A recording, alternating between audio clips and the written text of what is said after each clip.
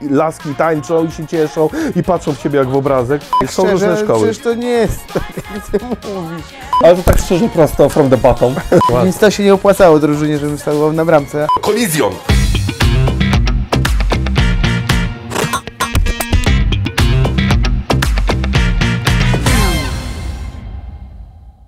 Są takie czasy, że osoby, które zawsze z chęcią przychodziły na praktycznie każde e, imprezy, na której grałem, graliśmy e, i nigdy nie prosili się o listę, bo, bo nie. Przyszły czasy, które i te osoby zaczynają prosić o listę albo pytać, może to, to lepiej brzmi, pytać o tę listę z prostego względu, że nie stać ich e, chodzić co tydzień na imprezy, gdzie gramy. Nie no, to, to też jest oczywiście zrozumiałe. Zrozumiałe też jest to, że teraz faktycznie, no mówię, mąka poszła 100% do góry i jest wszystko droższe. Faktycznie jesteśmy teraz w bardzo newralgicznym punkcie naszej... naszej historii. Natomiast, natomiast teraz, teraz ja odciągam te, odciągam, że tak powiem, te fakty, które są, czyli, czyli, czyli te problemy ekonomiczne naszego kraju, ale nawet gdyby ich nie było, to ceny, które są w Polsce za wejściówki na imprezy, patrząc globalnie, nie noszą znamion takich, aby na nie przesadnie narzekać. Tak Tak. uważam. Znaczy inaczej. Żeby była też y, trochę wytłumaczona y, kwestia, skąd te ceny się biorą.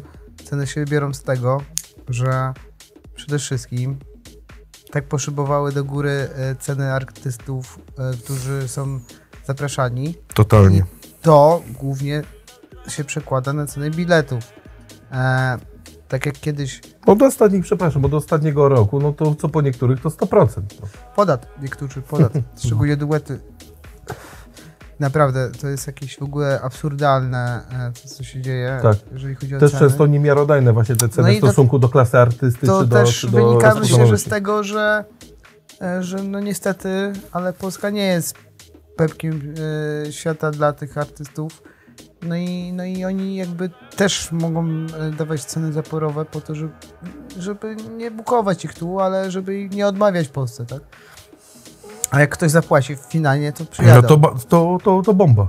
No to, to super. No to Nie, prawda. a tak, a tak e, już poważnie, no to, A to nie było poważne.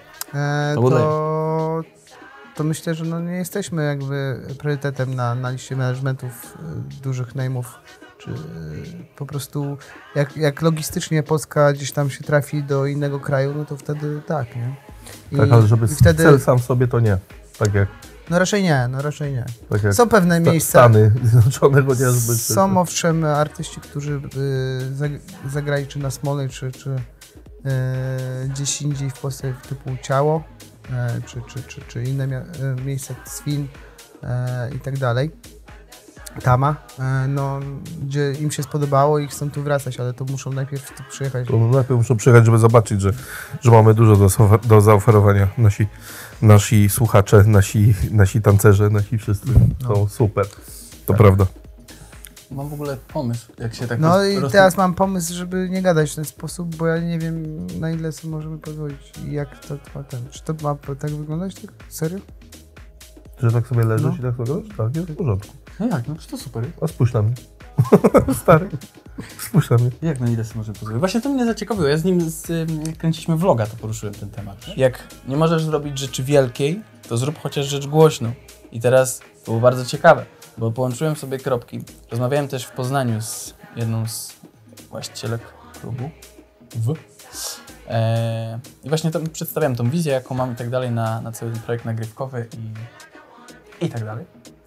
I, no i powiedziałem, że właśnie robimy, że my, my się tu spotykamy i tak dalej i, i że ja na przykład szczerze bardzo świadomie, mimo wszelkiej swojej jakiejś tam wewnętrznej dociekliwości, e, no chcę zmierzać raczej ku formie tej rozrywkowej, nie? No, wy teraz wyglądacie jak definicja rozrywki. to na dżungli. Jestem Ale- w głowie roztańczony. Ja się śmieję do środka. No, fantastyczna sprawa. I, I chodzi o to, że e, no, że w sumie jak chodzi o Chyba podcasty w McDonalda jadłeś, co? świecie klubowym, Siemanko. Nelo, Halo? siadaj. Rozwracamy po W krótkiej przerwie. krótkiej przerwie. E, że właśnie jak nie można zrobić rzeczy wielkiej, to chociaż żeby zrobić rzecz głośną. Jakby no, właśnie usłyszałem i w Poznaniu od wielu osób z branży, że no, że jak chodzi o podcasty merytoryczne, w których jest poruszane, to co tu można więcej w tej klubówce wyrzeźbić? No zapytasz kogoś, jak się czuje po wydaniu epki, no to ci powie to samo, tylko o innej epce, no. Jak zapytasz kogoś, jak się grało gdzieś tam, ja nawet na tym Tomorrowlandzie, jak Polacy grają, no zapytasz ich, no wow, bo ty miałeś ten wywiad Shining Beats na, po Sunrise na mainie, czy na mainie, czy to było po Blacku? Chyba po Blacku to Po było. Blacku chyba, chyba. No, ale- Nie, tak. po mainie. nie, nie, nie, nie, nie, nie, bo to było dwa lata temu. Shine to po- ja- po Blacku. Nie, po tej drugiej scenie, tak. Tak, no i, i generalnie no, można, wiesz, te wywiady są... Miałeś teraz na mainie. Nie, To jest ter- najmniej istotne. Dobrze. No dobra. To jest najmniej istotne. No i chodzi o to, że wiecie, że, że za dużo tam nie ma co wyrzeźbić i faktycznie to się ludziom nudzi, nie? No i teraz- tematy związane z, naszym, yy, z naszą klubówką oczywiście są ograniczone, w końcu się wyczerpują. Yy, no i no stary, no trzeba, trzeba grzebać. I Ludzie wyrzeźbić, nie? No i wyrzeźbić, ale bo ludzie łak... Stary, ludzie tak jak wiesz, w jakim celu odpalają Facebooka, w jakim celu odpo- odpalają TVN24, Plotka czy innych, i, i inne rzeczy. Są... yy, Plot co? s- no tak, no, no Plotek, nieważne. płotek, nieważne. Ale no, żeby konsumować treść. No, i Konsumować teraz treści, każdy- się dowiedzieć, co u ludzi, których lubią, nie lubią, których szanują, nie szanują. Y, Potrzebna im jest ta wiedza. Ja nie mówię, żeby wturować tematy, ja nie mówię, żeby gadać w kółko o tym samym, ale ważne jest tak samo dla artysty, jak i dla słuchacza ten kontakt. To tak jak z rodziną. Stary, ja z moim ojcem y, znam się tyle, ile mam lat, ale dzwonię do niego praktycznie codziennie, pogadać o tym samym, jak się czuje, pogadać, co robił i on to samo. Oczywiście, i czy, czy to nie jest wtórowanie? Stary, dałem ci taki argument, łamiący wszystkie twoje ewentualnie wątpliwości. Jak komuś zależy, to znajdzie sobie, że tak powiem, To jak- e, tematy do gadania. No, No dobrze, no i, tak jak w, w twoim życiu klubowym jako człowieka, który już poszedł tylko w 100% w, w muzykę, jak sobie łączysz to życie rodzinne. Trochę mi w tym vlogu swoim powiedziałeś em, o tym właśnie jak, jak z Pauliną, czy jak, jak wygląda twój dzień z chłopakami i tak dalej, ale no to można fajnie to- włączyć. to mnie bardzo ciekawi, Tak samo tak. jak, No jak fajnie, Gigi. Jak, Chcę- jak łączysz chcę- Paulinę chcę- z, chcę z rzucić- chłopakami. To Chcę, chcę, żeby moje pytanie, chcę, żeby moje pytanie jakoś tam padło i było skierowane do was obu, więc myślę, że powinno No zostać Gigi też prowadzi życie zawodowe, życie muzyczne, tak. ja życie rodzinne i życie muzyczne. Dzięki, że mogę zadać pytanie. Bardzo Ja proszę, nie- Chyba się powinieneś przyzwyczaić. Tak. Ale chodzi mi właśnie o to, że wiesz, wy prowadzicie aktualnie swoje prywatne życie na dwa zupełnie różne sposoby.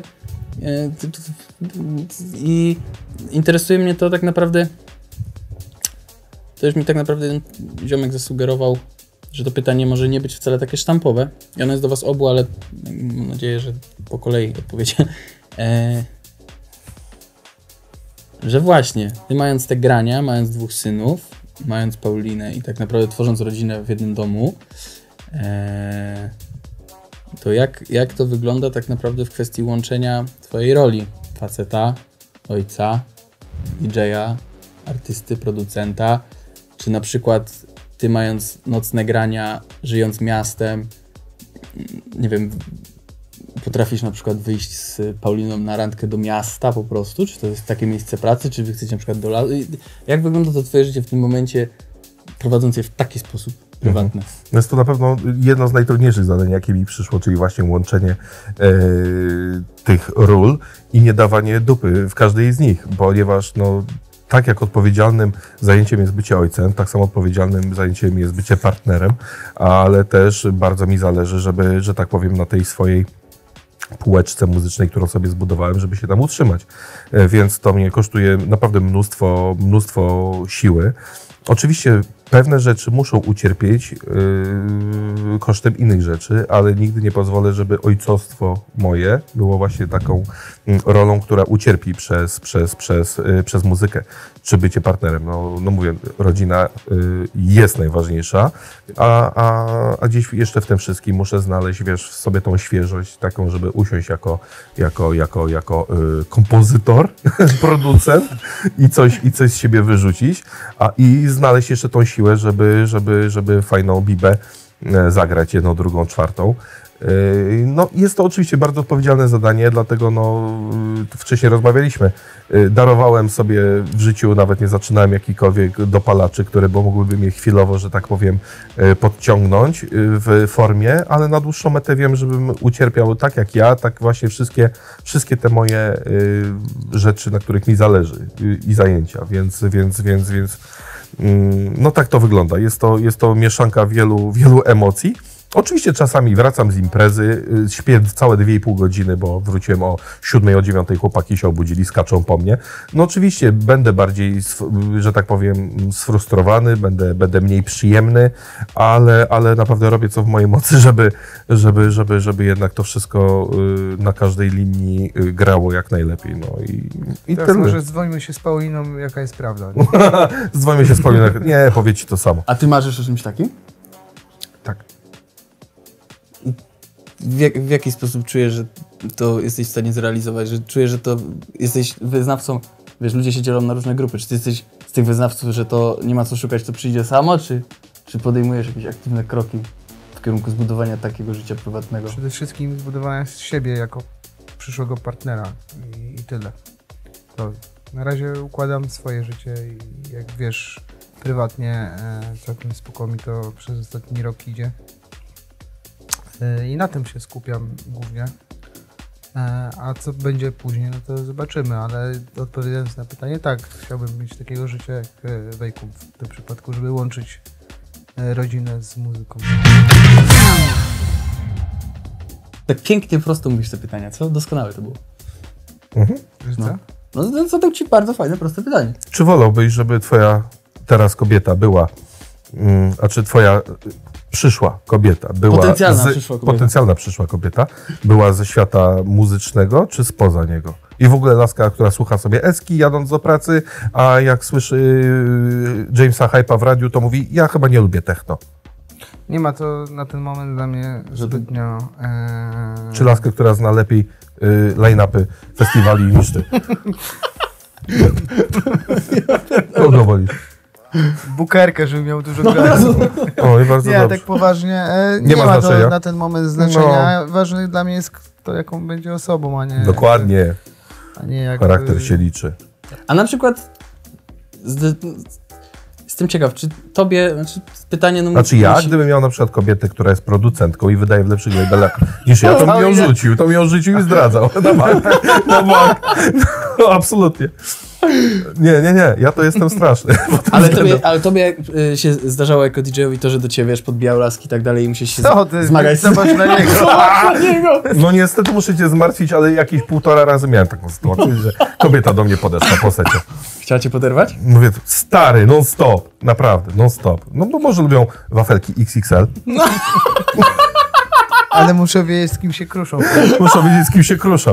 Dokładnie. No to jest zawsze ciekawe właśnie. stary, z DJ-ami jest tak, że At- atrakcyjność, atrakcyjność gra drugie skrzypce, a sam fakt bycia na plakatach, na zajawkach internetowych, na tralalala, to jest nasz e, afrodyzjak, którym, Tak? że tak powiem, a czy, i dla, dla nich to jest afrodyzjak, przepraszam. Oj, nie wiem. Pewnie, że to jest fajne, no stary, wpadasz i grasz na main stage wielkim, słuchaj, laski tańczą i się cieszą i patrzą w ciebie jak w obrazek, to jest dla ciebie wielka przyjemność, przynajmniej dla mnie, no może jestem próżny, ale nie sądzę, żeby moi koledzy nie myśleli podobnie, bo to jest fajne. Po to chcieliśmy też być DJ-ami, żeby być jakimiś nie powiem słowa ikonami, ale żebyśmy byli, żebyśmy byliśmy osobami, które są na tej imprezie na piedestale, bo grają i to jest super, no. Już abstrahując od tego, że wszyscy mamy się, czuć jako jedność, jako równi i tak dalej, to jest oczywiście też prawda, ale tak w każdym DJ-u na pewno jest jakieś takie małe ziarenko takiej pychy, którą sobie spełnia, grając super fajną imprezę na super dużej imprezie i, i super, no, stary. I oczywiście, że tak. I oczywiście, że ja bardzo lubię, jak dziewczyny mnie podrywają. Nie ma problemu. Słuchaj, to jest ekstra. No i co? A ty wykorzystałeś czasem to, że... Non stop to robi. Non stop to robi. Nie pytaj go, mnie się pytaj. Człowieku, non stop. Totalnie. Totalnie. Absolutnie. No, Stary, naprawdę. Nie, w ogóle nie, nie każcie mi opowiadać o tym wszystkim, proszę was. Człowiek. kumpla, no. No, nie ma problemu, ale chodzi o to, że, że no Gigi to jest y, normalnie z Wikipedii definicja DJ-a. No, to jest definicja DJ z Wikipedii. Totalnie. Totalnie. No tak jest. No tak jest. Tak jest. Mówię, gdybym ja nie prowadził swojego życia, to by prowadził takie jak on. Tyle ci powiem. Także, To także wielokrotnie jest mi go szkoda, ale, ale chyba wi- więcej razy mu zazdroszczę. Słuchaj. Nie, naprawdę. No, są, A tak są różne szczerze, szkoły. przecież to nie jest tak, jak ty mówisz. Nie rób ze mnie... Żigolaka? No Żigolaka. właśnie nie jesteś. Nie, żartuję, nie jest. Bo robi to za darmo. Boom. Czy czujecie, że będąc DJ-em nie istnieje wolność słowa? Eee, w sensie wy, wy, wy, wypowiadanie się o branży przez DJ-ów? Wypowiadanie się o No kolegach? No właśnie teraz uprawiamy dla, dla Wolność dla słowa? A czy wolność słowa, czy hejt? Wolność słowa, czy chamstwo? Wolność słowa, czy ten... Jest wolność słowa, ale to klasa decyduje, co dany człowiek powie. Ty wydajesz swoje produkcje. Ty, Jestem prze- mega ty szczęśliwy przekładasz na to jakby swoje, swój zmysł artystyczny, przekładasz na, na wydawnictwa, na epki, etc. Jest. Git. Ty Gigi bardziej managementowo działałeś jakby jako promotor, prowadziłeś lokale, byłeś, byłeś zaangażowany w wiele inicjatyw, czy w instytut, czy, czy, czy, czy, czy, czy pomagałeś, byłeś tak stage managerem na Sunrise. Mhm. Bardzo dużo takich e, tematów związanych z clubbingiem, ale bardziej w kontekście zarządzania. Aktualnie jesteś DJ-em Mhm. i zdarzają się na przykład, zdarzają się weekendy, kiedy żaden promotor się do ciebie nie odezwał i akurat masz wolny przebieg wtedy. I teraz ty, będąc DJ-em i producentem, nawet jak nie grasz, Mhm. to dziergasz krok po kroku swoje dzieło, które i tak się ukaże. Ty, nie dostając grania od promotorów, nie masz gdzie dziergać swojego dzieła, bo nie produkujesz. Mhm. No i teraz, czy czujecie trochę to, że ty, będąc tylko DJ-em, jesteś zdany na łaskę promotorów? Na łaskę promotorów? No bo jak ktoś na przykład nie ma humoru, co nawiążę, nawiążę teraz mi się urodziło to w głowie na przykład z tym, że najbliższe collision będzie w czerwcu. Ogłoszone.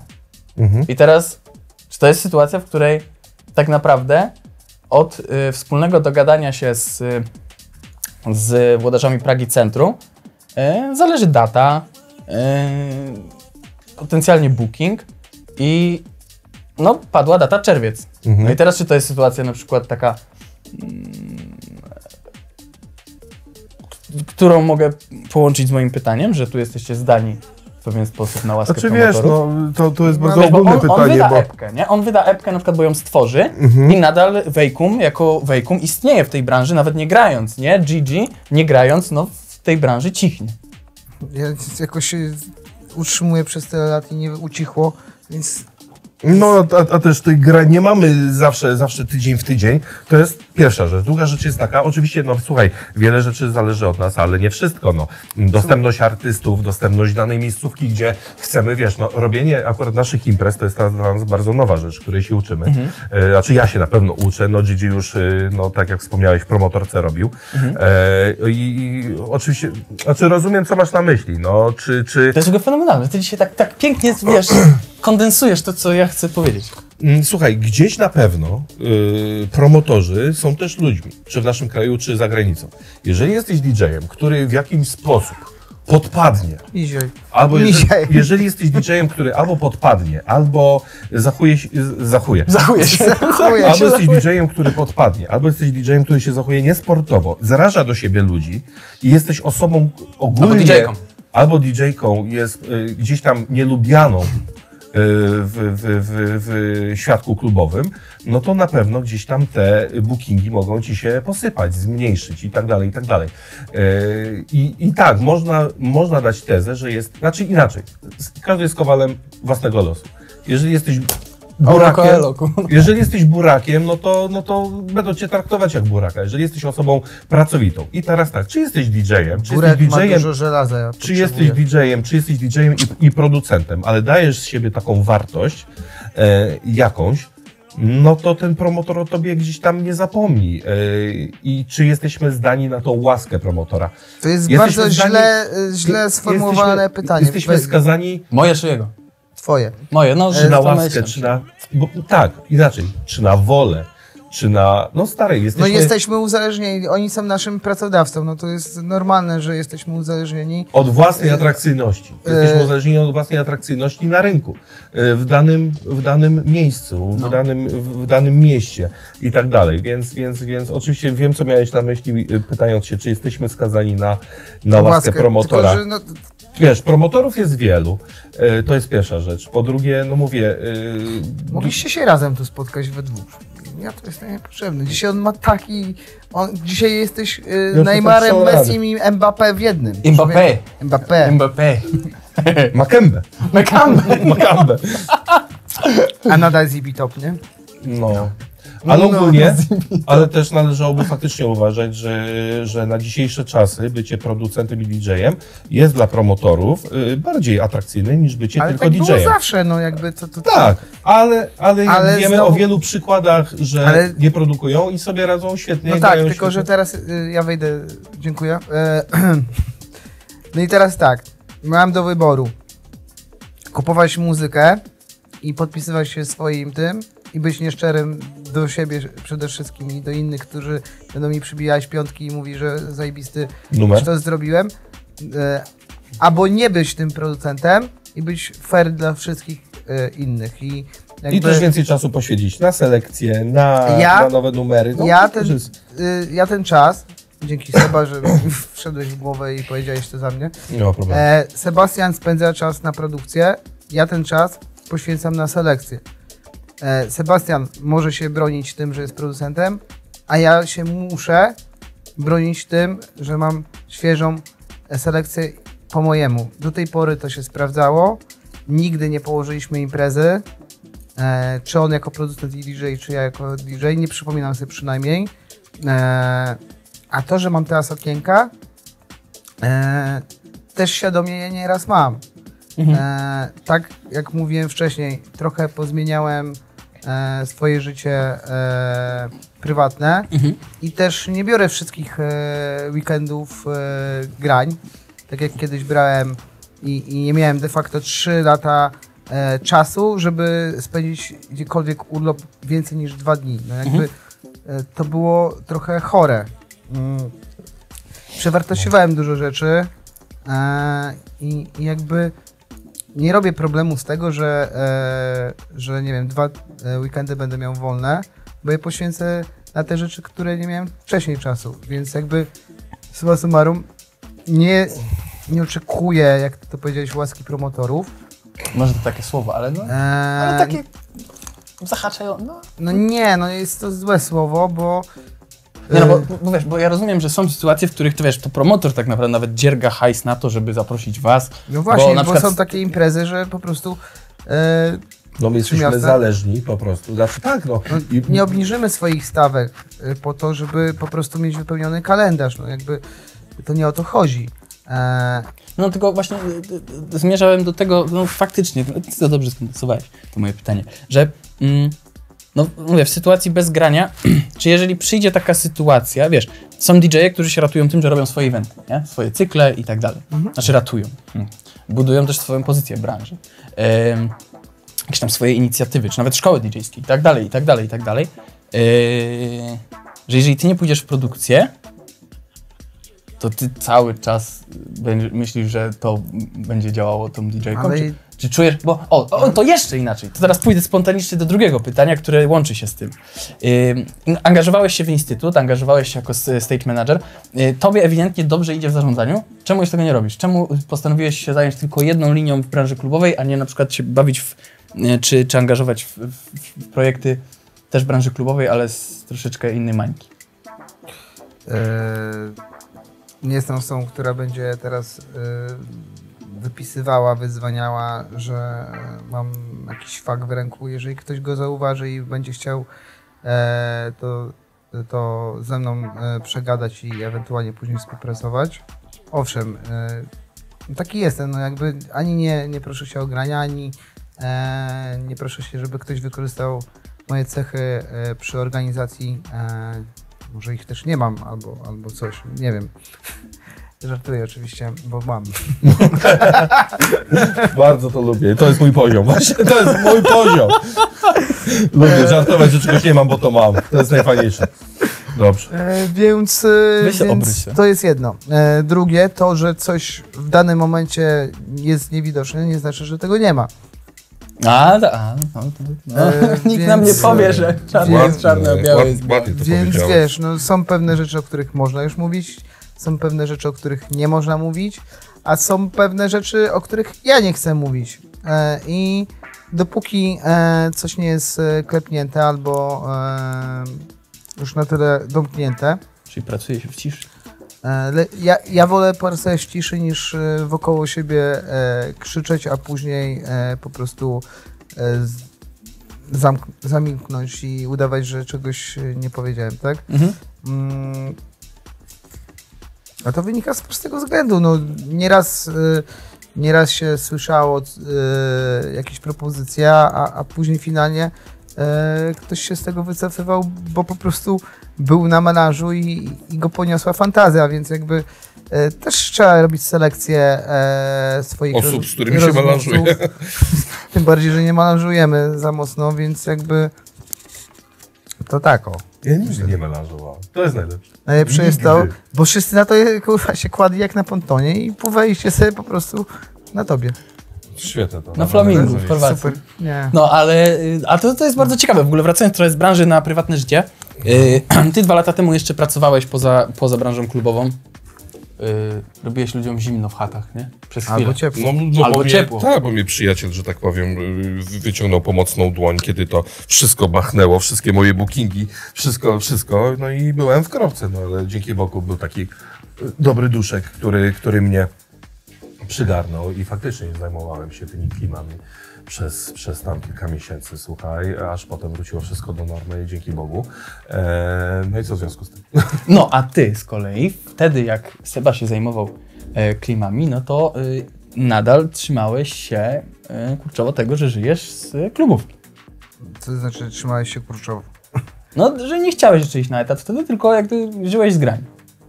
Nie, ja chciałem ten czas poświęcić na to, y, czego nie miałem y, czasu właśnie grając, więc y, to była inwestycja czasu w swoją osobę i jakby to wynikało z tego. Ale na etat wtedy nie poszedłeś. No, No nie i teraz- poszedłem Ale z, tak, i- z prostego względu, że jakbym wtedy poszedł, to by mnie nie było teraz takiego, jaki jestem, a jestem naprawdę szczęśliwy z samym sobą. A No. wtedy nie byłem. No I teraz do czego zmierzam? Aktualna sytuacja jest taka, że właśnie jest z powrotem. Teraz ty postanowiłeś pracować na Mhm. etacie plus grać, e, a ty postanowiłeś wrócić do tego, że żyjesz tylko z muzyki. I tak naprawdę e, poszedłeś w bank, a, a ty, Gigi, postanowiłeś pójść na etat. I jak bardzo takie zmienienie trybu, tak, z pracy na etat i na muzę, Tak. Właśnie w zajebistym momencie wszedłeś. Ale w ogóle, w ogóle nie przepraszaj, jesteś u Nie, nie, jesteś u siebie, to my... E, Jeszcze y, 10 minut? 15 max. idealnie. Gadaj z nim. gadaj. Podjąłeś decyzję pójścia do pracy na etat, żeby ustabilizować, troszeczkę usystematyzować swój tryb życia. Tak? Tak, tak, dokładnie, no. Czujesz, że efekty są tego zauważalne, odczuwalne w Twoim przypadku? Była najlepsza decyzja, jaką mogłem podjąć i jakby ona się przykuła na każdy aspekt e, mojego życia, więc jakby e, czy żałuję? Zajebiście jestem dumny z tej decyzji. Musi być balans w kosmosie. E, Co tu jest, ty? Co tu jest? No. E, więc e, to się przekuło na, na to, że e, wstaję o 6, 6.30, ogarniam Biegam. w jeden dzień, Drążki. ogarniam więcej rzeczy niż wtedy ogarniałem w dwa tygodnie. Nie? no. Więc jakby jestem od razu lepiej nastawiony do wszystkiego, więc e, to była bardzo dobra decyzja, reasumując. No dobra, no to I jestem w stanie e, poświęcić praktycznie tyle samo czasu muzyce, co wcześniej, Aha. tylko muszę tak gimnastykować się, żeby pogodzić obowiązki trzymania e, chaty, pracy, e, zajawki i jeszcze mieć czas dla, e, dla swoich bliskich, tak? Dobrze, poczuj to. Poczuj to. Poczuj Ale bardzo to, ale to wsiadło, to Ale to wsiadło. To wsiadło. A ty No. jak nie masz etatu, Seba, to co ci pozwala utrzymać tę systematyczność? Przecież on nie ma systematyczności za grosz. Nie mam systematyczności. Mam rzeczy, na których mi i osoby, na których mi zależy i one mnie mobilizują. Daję z siebie wszystko. I, To fajko. I to mnie pcha do przodu. To mnie pcha do przodu. Ja jestem też uzależniony też trochę od takiej artystycznej atencji na mnie. Followersów? E, tak. Ja jestem uzależniony od tego, żeby żeby coś z siebie dać, za co ludzie mi klasną, po prostu. No i, i to mnie i też napędza. I, I tutaj to jest żadna tajemnica, bo gdybym ja to robił tylko dla ściany przede mną, to bym nie znalazł w sobie tego ognia. A jeżeli ja wiem i mam w głowie, że dobra, muszę zrobić tą epkę, wydać ją tutaj i zagram ją na dużym festiwalu i będzie to, kurde, mój małe znowu marzenie, to ja to zrobię i to jest, i to mnie napędza i, i tak, i tak sobie działam. I, i wiesz co, nie. Dobrze się też czułem na, eta, na etacie, było bezpieczniej na etacie i przy muzyce, ale teraz jak jestem na samej muzyce, to też mnie to bardziej mobilizuje, też y, wiesz, no jest ten dreszczyk emocji i tak dalej, ale no nie ukrywajmy, mam dużo więcej czasu na, na, na, na bycie tym takim, no też często spontanicznym, takim kreatywnym i tak dalej, a to no pomaga mi, no umówmy się, no pomaga mi y, gdzieś tam tą muzykę wydawać, czy, czy, czy, czy, czy, czy chociażby pracować nad tą muzyką, bo jeszcze wiesz, między pracą a wydaniem to jeszcze jest trochę czasu, Mm, no ale, ale jak tego czasu jest brak, czy za mało i jesteś zajechany robotą, dziećmi i tak dalej, no to widzę też po kolegach, jak to się przekłada na tą mm, kreatywność, na tą taką świeżość, a zależy mi na niej, więc y, ten krok był właśnie po, po, po, y, po mój ten krok był Przemyślany. przemyślany, ale był co? Po, Trzebny. ale był inaczej, po, Po pandemii.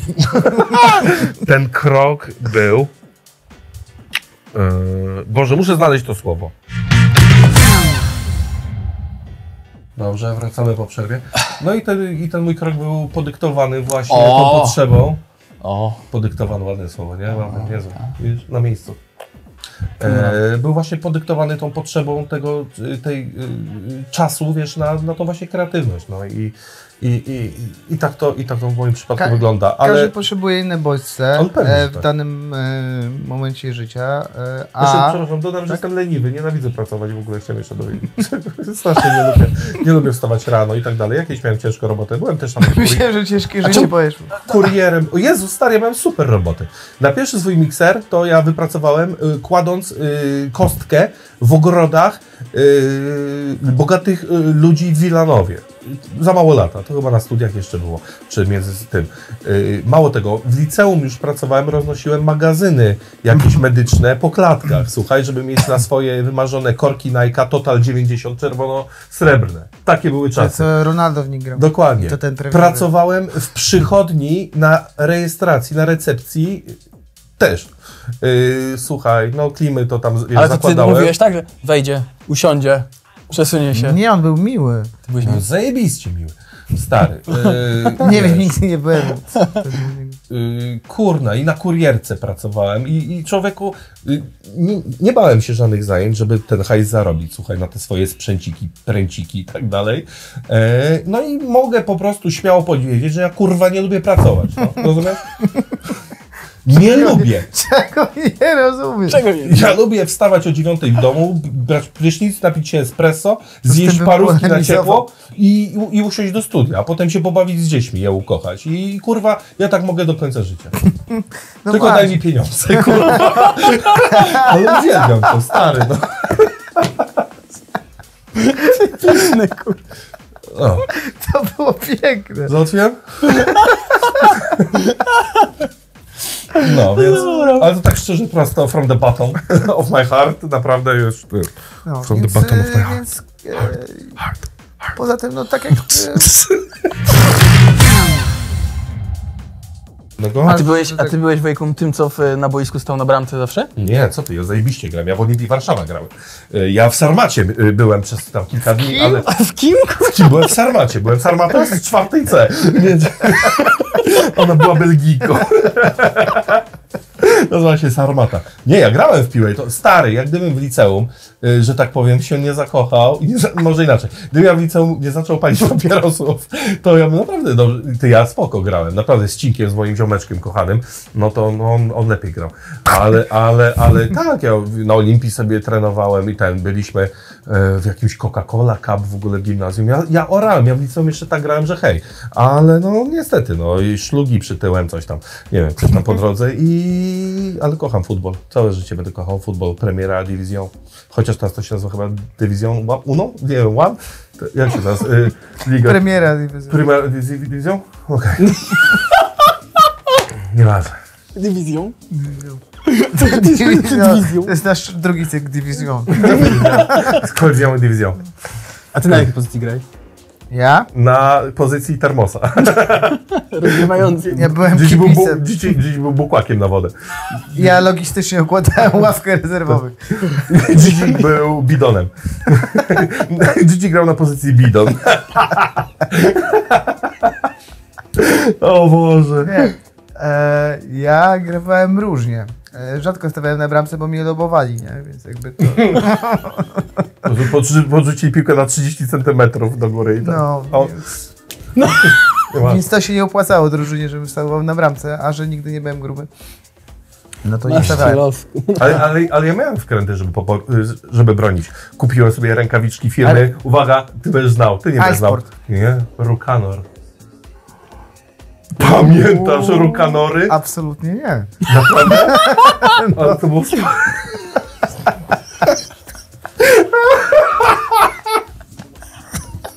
Uuu, absolutnie nie! Rukanor to była zajebista firma sportowa w Żadna. czasach międzywojennych, jak byliśmy młodzi. To był ekstra, to No. był dobry sprzęt, to był chyba z RFN-u w ogóle. Albo Ameryka, nieważne. Ale miałem takie wkręty, kupiłem sobie rękawiczki, no, kupił. ojciec mi kupił, rodzice mi kupowali. I się rzucałem, uczyłem się i tak dalej. Pozdzierałem sobie kolana, już wróciłem na tą swoją pomoc, czy tam napad i tak dalej. Ja Ale byłem tak, głównie pomocnikiem. Trenerowi pomagałeś. Nie. Sobie. pomocnikiem. Pomocnikiem Ale nie, polu. hitem był, e, pamiętam jak dziś, bo ja w ogóle zbierałem koszulki piłkarskie, e, miałem kurwa, z 60. Borussia Dortmund z bazaru za 3 A za to, to 3,9. od tej A za... w Egipcie byliśmy, też oryginalną se kupił tam na tym, nie? Od tego Egipcjina, co to było? zacząłem faktycznie od koszulek z bazaru, jak miałem 6 lat. I to była faktycznie Borussia Dortmund Summer z szóstką. Matia Zamer, szóstka. A jak? Si. Jandras Mele, dziesiątka. Tak, Czy ósemka? Dziesiątka. dziesiątka. Eee, no tak. E, później, Johan Cruyff 20 lat ale to wcześniej. nie o tym. Nie w ogóle. Hitem było to, jak ja już, że tak powiem, zawiesiłem swoje buty na kołek. A było to Po dosyć tej szybko. karierze. E, no i pojechałem z, z ziomkiem e, na halę. No i ogólnie pojechałem tam jako widz, a że byłem w koszulce Barcelony mojej kochanej. A typ w międzyczasie skręcił sobie nogę. No i brakowało jednego, no to No kogo jak nie w koszulce no idealnie, no. idealnie typ. Ósemka Gigi na złoto. Pomarańczowa Barcelona. wygląda jak Iniesta. Stary, to było jeszcze za czasów Julie, Julie z ósemką. Jezus No. Maria. I wbijam. I mu Pierwsze złamali, podaje- i mu pierwsze- złamali żuchwę. Pierwsze podaje do mnie i się przewróciłem. No podejrzewam, że, No. że było śmiesznie, ale to I fajnie. udałem kontuzję i musieli znaleźć kogoś innego. Teraz klamra. Y, Zrobimy z Klamra. tego tradycję, to jest poprzedni odcinek też taki, tam patrz, też taki był. Klamra należy do was. Tu się patrzę. O tam, o tam, o, o tam oj. Tak. Także bardzo Wam dziękujemy za, za obejrzenie naszego nowego e, odcinka Collision. E, widzimy się w niezmienionym składzie już za dwa tygodnie.